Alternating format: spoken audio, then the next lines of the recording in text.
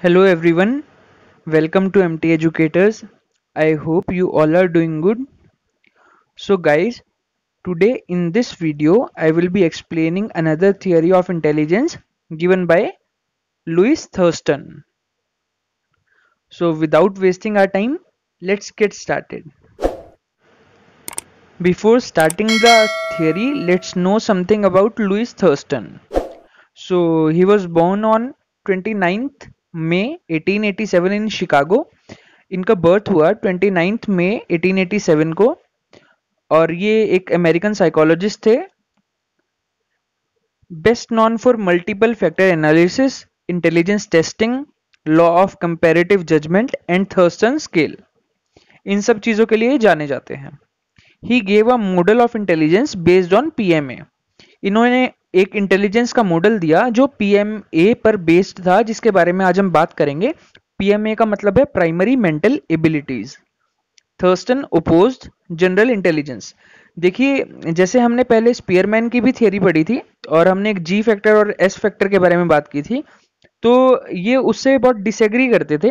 ये बोलते थे कि ये जनरल एबिलिटी और स्पेसिफिक एबिलिटी जैसा कुछ नहीं होता। इन चीज़ों पर डिपेंड नहीं करती इंटेलिजेंस इंस्टेड ये बोलते थे कि इंटेलिजेंस एक बहुत सारी एबिलिटीज के ग्रुप पर, बहुत सारे फैक्टर्स पर डिपेंड करता है, जिसको इन्होंने क्लस्टर ऑफ़ एबिलिटीज बोला है।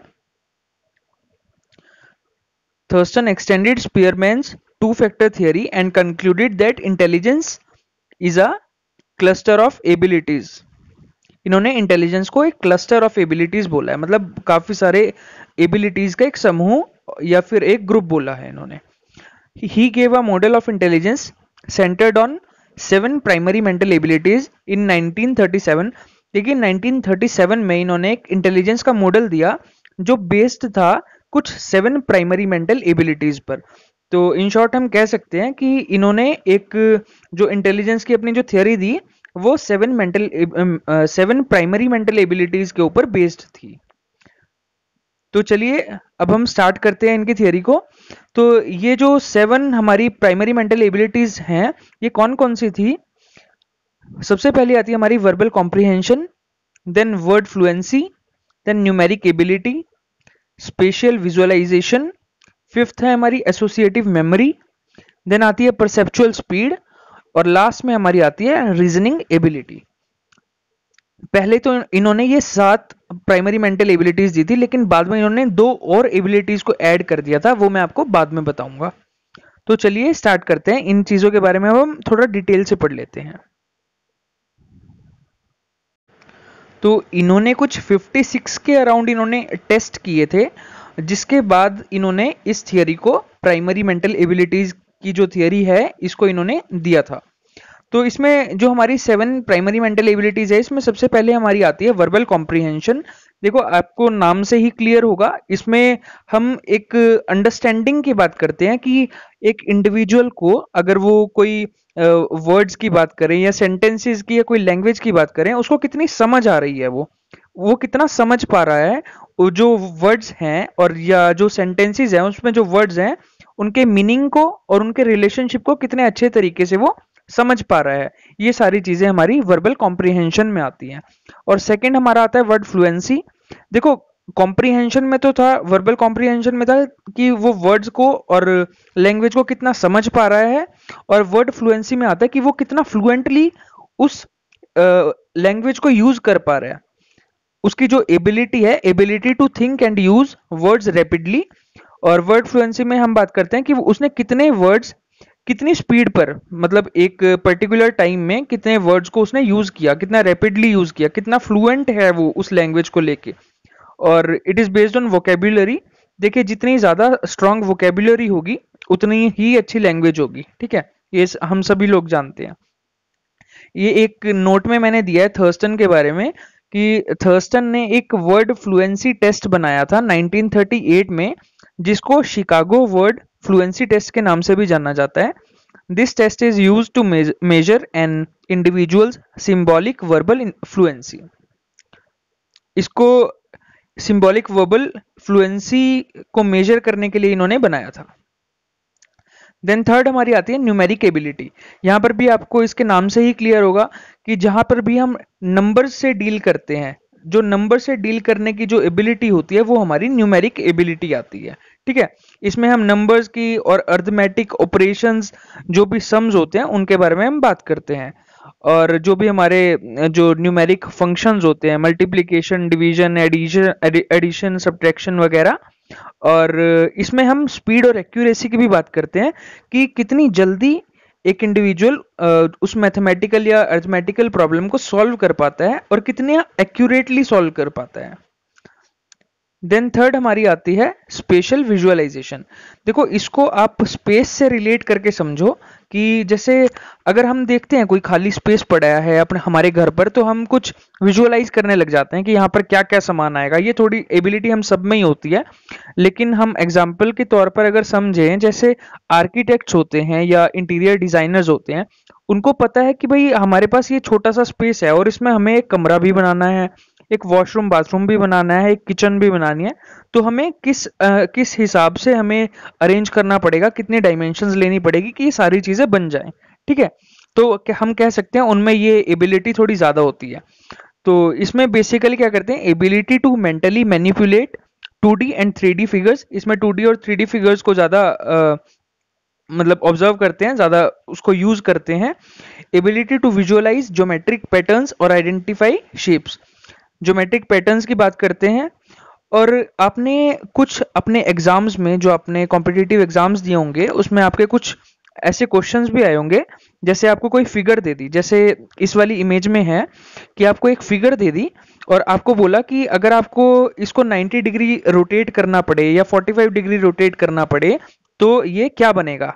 मतलब कौन सी फिगर मैच से मैच करेगी तो इस तरह के क्वेश्चन जो होते हैं वो आपकी ये स्पेशल एबिलिटी को ही टेस्ट करने के लिए दिए होते हैं।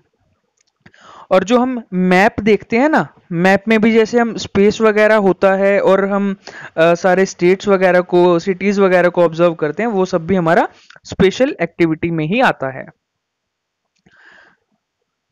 देन फिफ्थ आती है हमारी एसोसिएटिव मेमोरी देखिए एसोसिएटिव मेमोरी में क्या होता है कि हम कोई चीज़ को कितना टाइम तक रिटेन कर सकते हैं, या कोई चीज़ जो हमने पहले पढ़ी हुई है, या कोई याद की हुई है, उसको कितना जल्दी हम रिकॉल कर सकते हैं।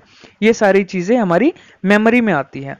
और ability to learn and remember the relationship between two और मोर आइटम्स और an item and and its context देखिए, हम जैसे कोई भी चीज़ है, ठीक है, कोई भी दो चीज़ें हैं, हम उसके रिलेशनशिप को कैसे मतलब कि याद कर पाते हैं या रिमेंबर कर जैसे आप एग्ज़ाम्पल से समझो जैसे कोई दो दोस्त हैं ठीक है? रमेश और सु, सुरेश ठीक है? हम कैसे इन दोनों के बीच में रिलेशनशिप की जो दोनों दोस्त हैं हम इन दोनों के बारे में याद कर पा रहे हैं ठीक है?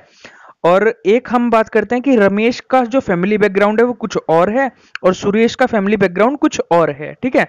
और हम इस विषय में भी हम कुछ याद कर पाते हैं तो ये हमारी एसोसिएटिव मेमोरी में ही आता है।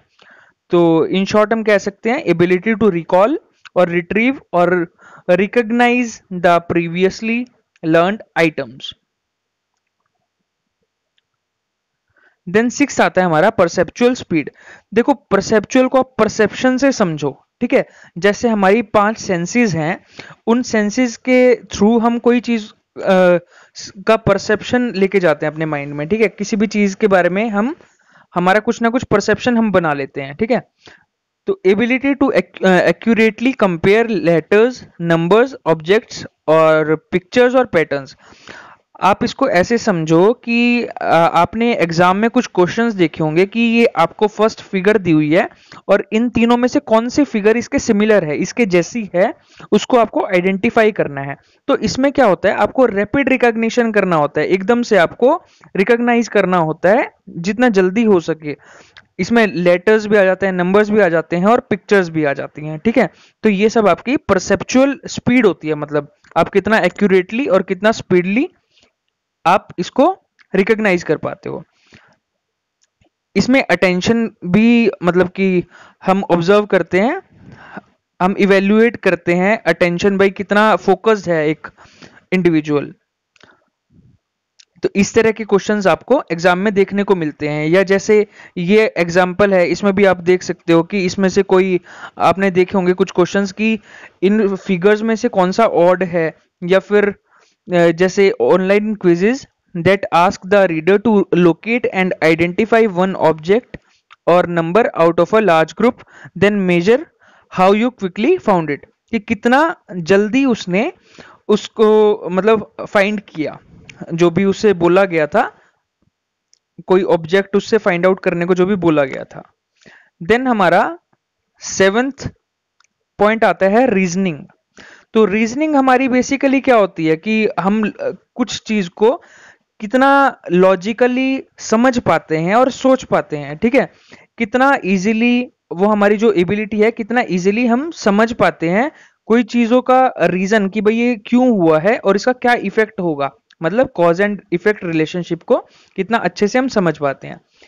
Reasoning is associated with thinking cognition and intelligence ये थिंकिंग कॉग्निशन और इंटेलिजेंस मतलब हमारे ब्रेन से ही ये सारे फैक्टर्स रिलेटेड हैं, ठीक है? It includes analysis evaluation and synthesis तो ये थे हमारे सेवन प्राइमरी मेंटल एबिलिटीज जो थी, जिसके बारे में थर्स्टन ने पहले बात की थी, लेकिन इसके बाद इन्होंने कुछ दो फैक्टर्स और ऐड किए थे।